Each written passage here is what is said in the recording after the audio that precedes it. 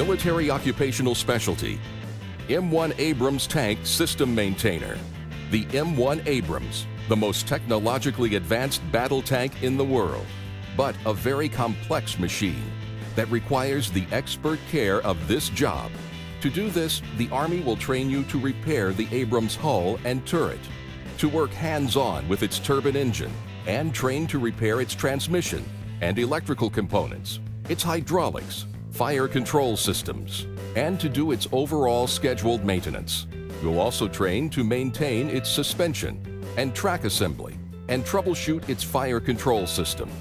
After your initial entry training and advanced individual training, you'll work supporting Army operations day or night. In the field, you may test fire the tank's weapons to make sure they're combat ready, while other duties may include repair operations or working with recovery vehicles. Serving in this MOS can help you transition to the civilian employment sector because your skills in leadership, teamwork, and problem solving are in demand by civilian employers. To be battle ready, the Abrams tank requires the special skills of this job. Military Occupational Specialty M1 Abrams Tank System Maintainer.